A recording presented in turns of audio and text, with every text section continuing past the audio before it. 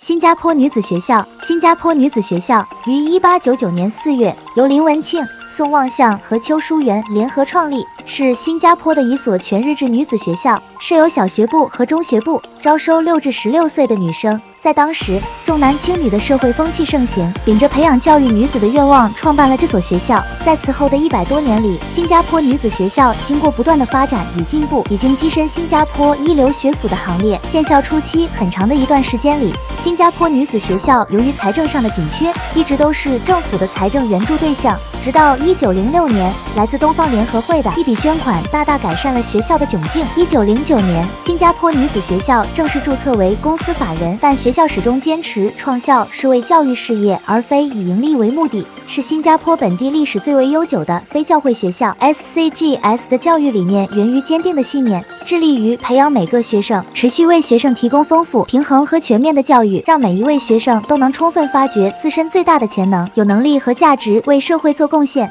为未来做好准备。